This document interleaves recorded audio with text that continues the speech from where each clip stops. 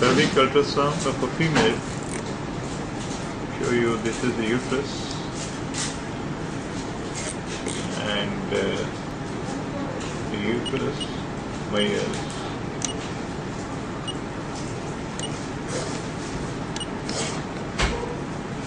one 11.9 centimeter in length and uh, 5.7 centimeter in anterior posterior diameter. This is the enlarged size. Sorry, this is the urinary bladder in longitudinal section. This is the urinary bladder and uh, this is the uterus. This is the anterior myometrium, fundal region, posterior myometrium. This is the cervical region and this is the uterus in longitudinal section.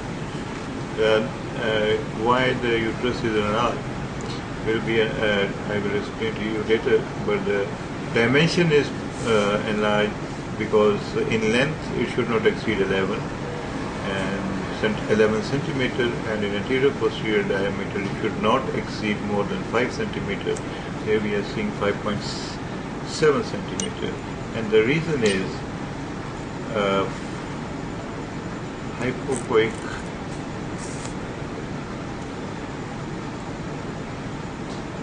mixed echo solid well demarcated focal mass lesion at the uterine fundal region measuring approximately 4.3 into 3.8 centimeters. Now this is the fibroid.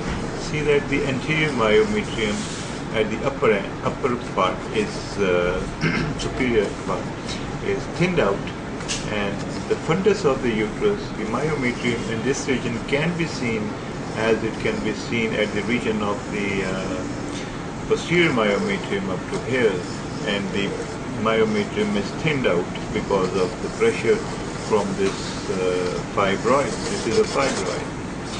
So uh, the myometrium is rather thinned out in this region.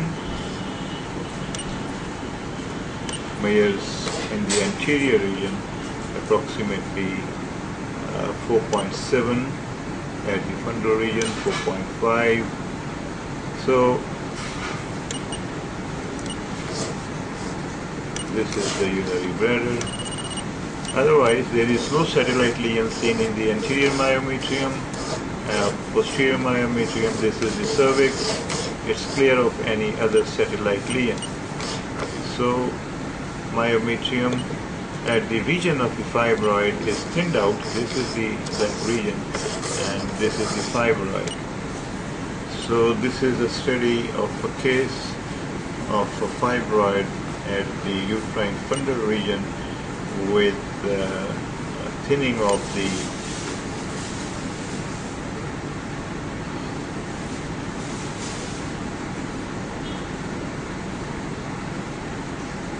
you will see that there is thinning of the myometrium due to the fibroid.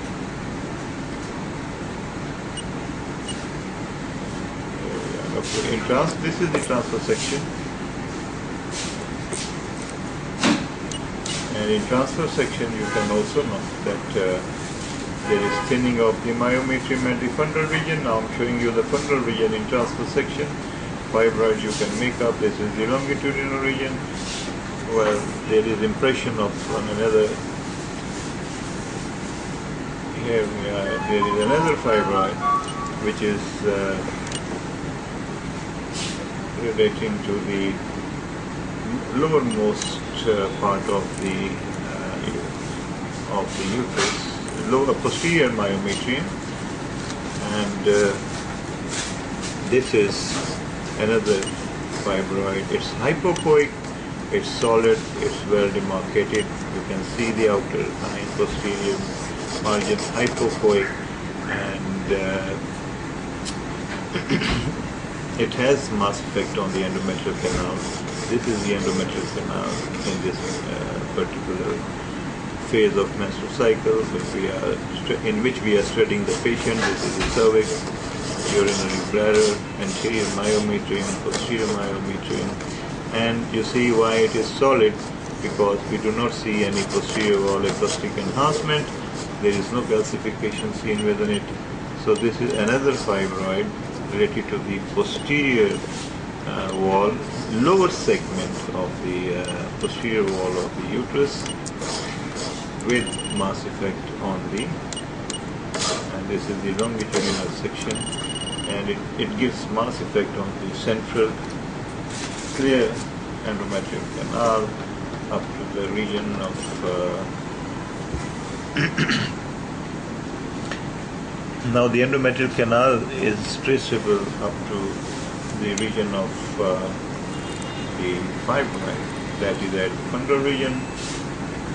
If I try to get both together. Anyways let us first see the situation of the endometrial canal you see both are almost giving some mass effect on the endometrial canal. This is the canal. This is the endometrial canal.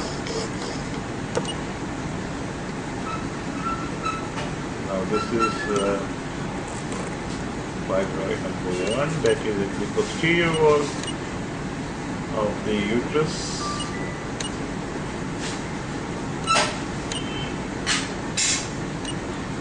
And this is the other one with at the fundal region.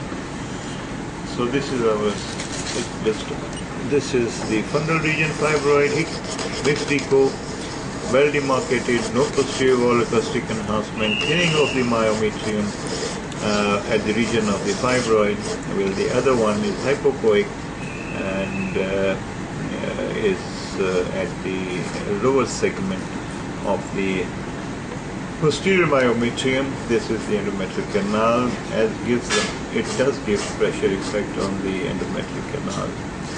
Uh, so this is our case of the day. Thank you very much.